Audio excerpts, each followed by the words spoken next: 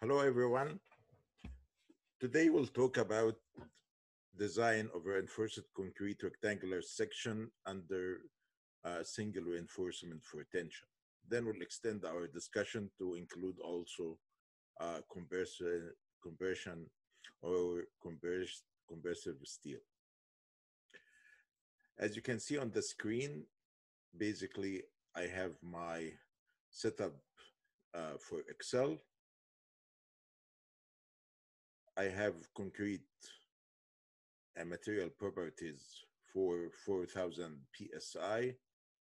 Yield of reinforcing steel is 60 ksi. Uh, the weight for the concrete, I'm using 145 so I can calculate the modulus of elasticity based on uh, the ACI or the AASHTO formula that you can see in here. And then I have the parameters of my section, which is the uh, width of the rectangular 18 inches, and I have a depth of uh, 21 uh, inches. And I have an area of steel, which is uh, six of number eight bars uh, with a total area of 4.74 inches squared. The modulus of elasticity of concrete is calculated based on this formula in here. And the modulus of reinforcing steel is given as 29,000 KSI. And the modular ratio N will be uh, the ratio between the moduli of elasticity for both steel and concrete, which gives me 7.97. Some people like to round this up to 8. That's fine. Or uh, you can keep it as uh, given or as such. The loads for this particular case, I'm uh, giving you an ultimate moment of 380 kips foot.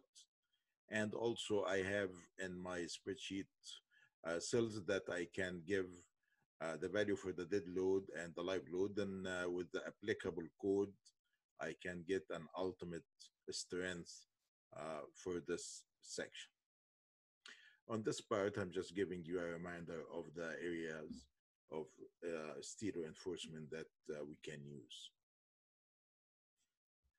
The calculation is very simple in that case. Basically, I just uh, have my input information and I use my own code of colors just to clarify my spreadsheet. So I use blue for any input uh, cell. I use red for any calculated uh, cell, and I use green for a simple equal sign uh, cell. So basically this cell just equals to this value. When I use the spreadsheet for more than one time, I can just worry about changing the parameters that are given in the uh, blue.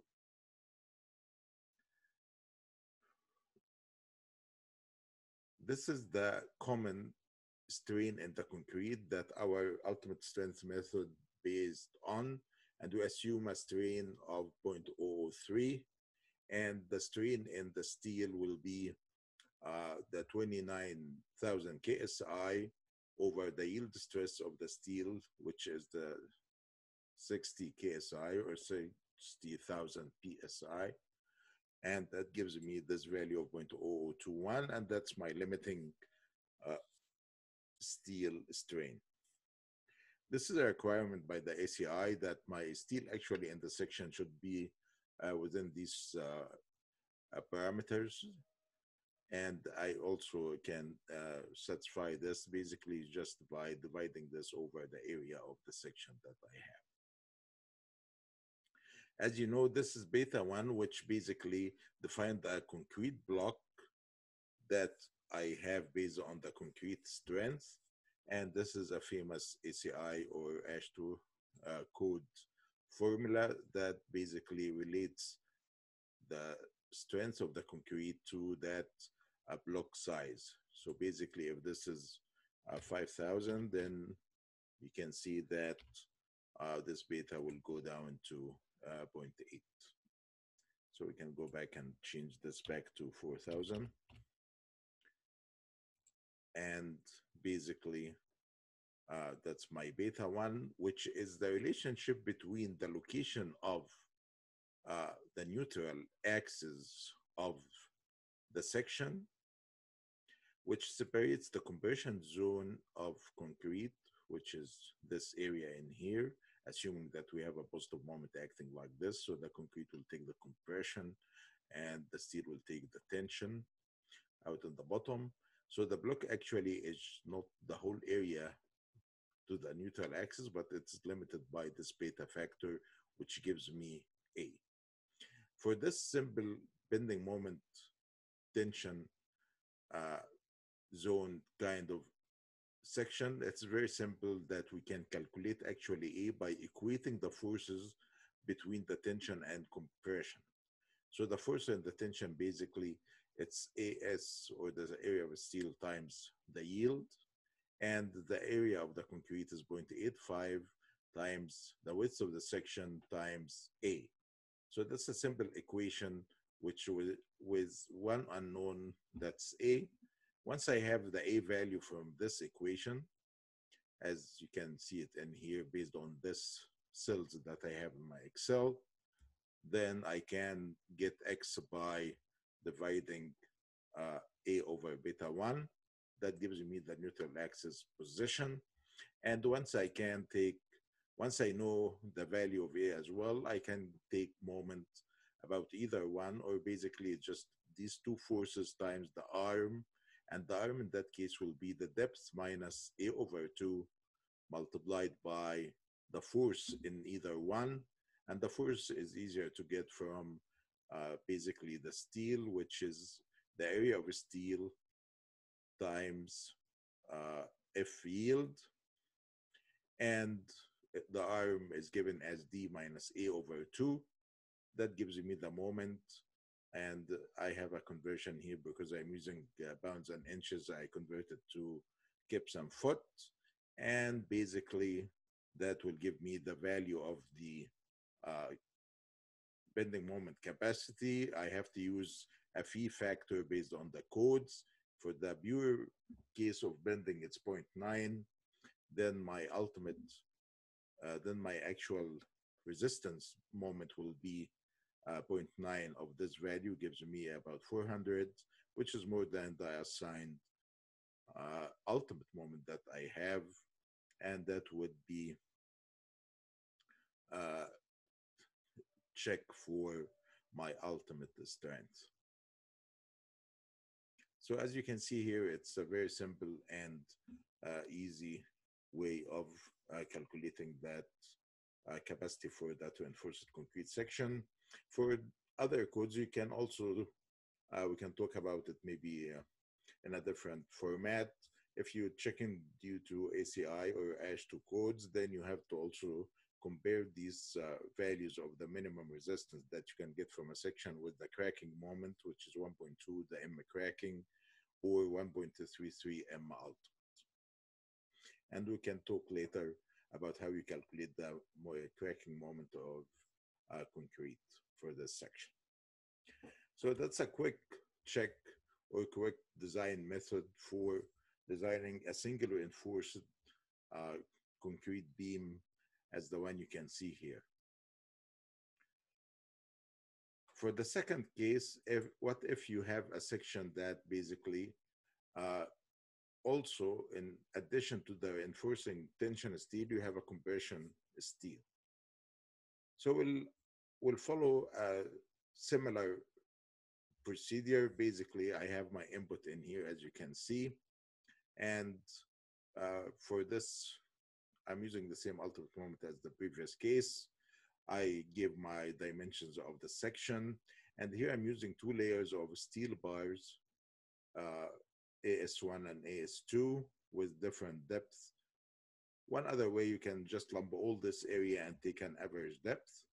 And this is the steel and the compression zone, assuming again that we have a positive moment going like this, the tension side on this side and the concrete compression will be up top here. And this compression steel also will share some of this compression. These are the parameters similar to what I have before.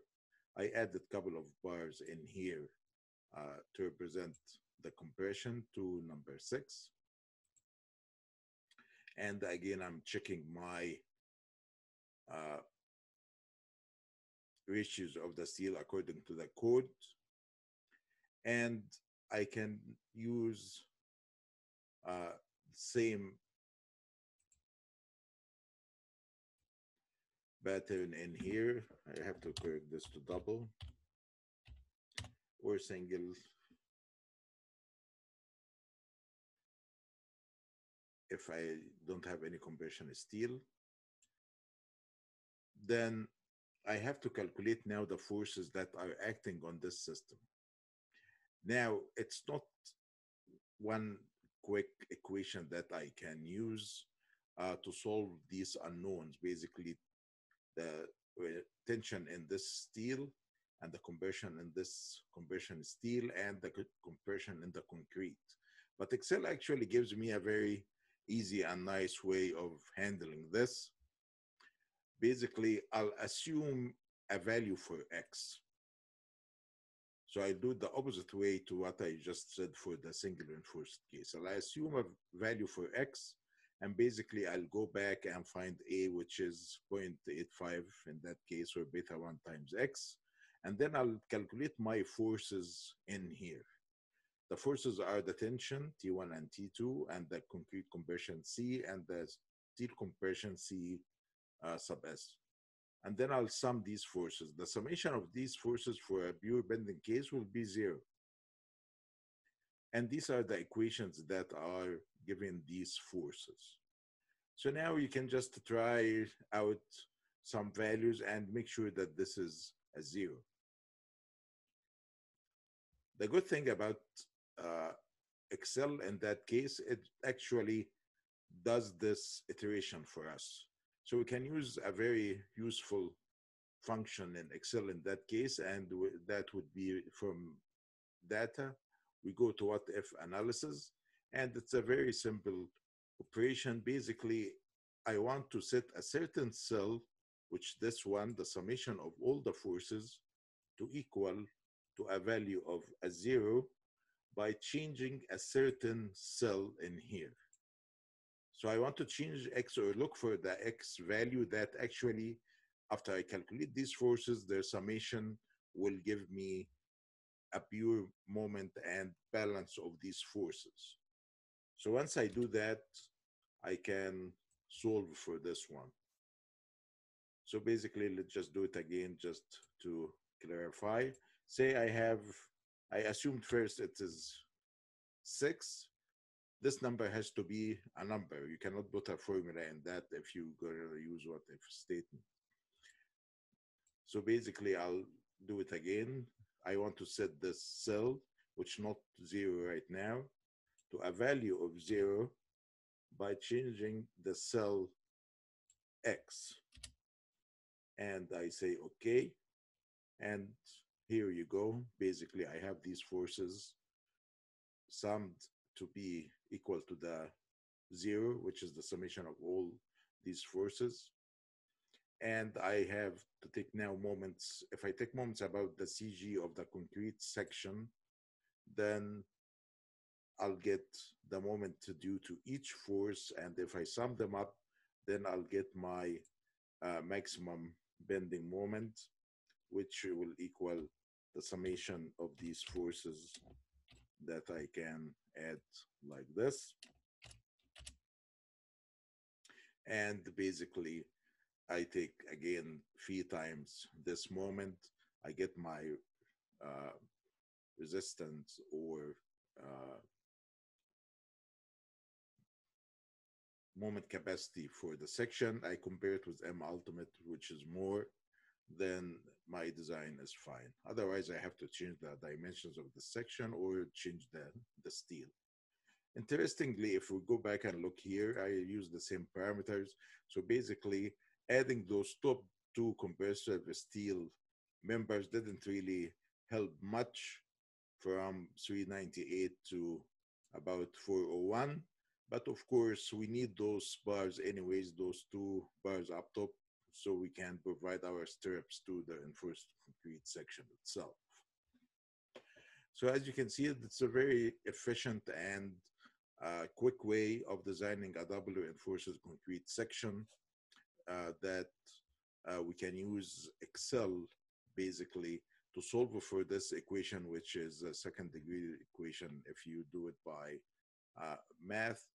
But this is a very simple way of trying to find the cross section quickly. Here is a note about the forces. Basically, as you know, in design of reinforced concrete sections, we want to make sure that we have an underbalanced section and that the yield of steel will happen first before uh, the concrete crashing.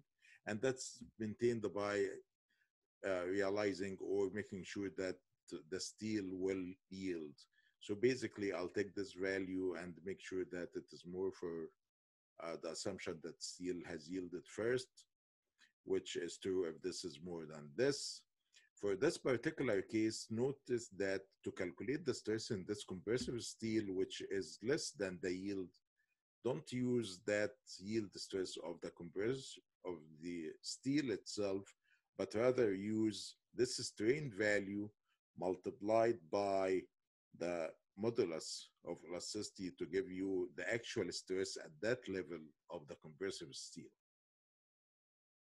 That's why I'm using either the minimum of this value or the uh, value, which is the yield value of 0.0021. With that, I give you a very quick way of uh, designing a singular reinforced concrete section and a double reinforced concrete section. And just to also show you that actually all results will be similar.